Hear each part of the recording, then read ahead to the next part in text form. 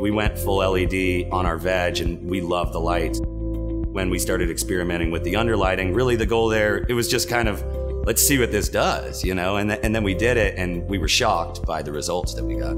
The LED is just a far superior light, straying away from, from metal halides to the T5s. And now with the LEDs, the energy savings are amazing. The better the plant's growth as well is just, it's, it's a no brainer you know, seeing how beneficial it really was for the plants, not just energy efficient, but you get this very wide spectrum of light that's actually really helping the plant. And then you can put it underneath and it increases yields. All of our employees were really excited. Everyone really thought the installation was really easy. You can daisy chain them or just connect them end to end seamlessly. One connection, run a whole table down, they're wet location rated, so there's no problems there with getting them into any of your local or state ordinances. They'll pass all of that. We couldn't be happier with the install of the Thrive lights.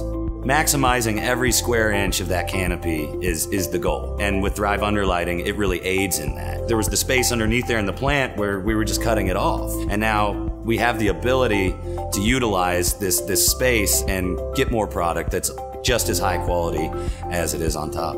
Spending that little extra money in the beginning to buy them, it pays itself off pretty quickly. With the use of Thrive's LEDs for underlighting, we've seen a 10% increase in the same square footage. It doesn't affect day to day operations at all. It actually makes it more exciting to go in and, and take a look at all the undergrowth there. The heavy pruning isn't as necessarily required. You will find that a lot of strains don't have to prune up as high. So it takes a little bit of that time and that labor out, and you benefit from that as well because you're getting extra product. At the end of the day, we're just trying to bring the best quality product to the people we can for a low price so that everyone can enjoy it. Looking into the future with the way this industry is going, you really need to stay ahead of the curve. And it's worth it for everyone right now to start looking towards the future and, and experimenting with these LEDs because they are the way of the future.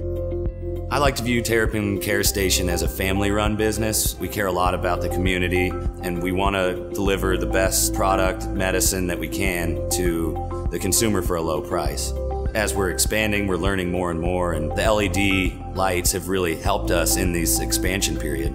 The advice I would give other companies considering LEDs would be try it. You got nothing to lose. I can guarantee you won't be disappointed.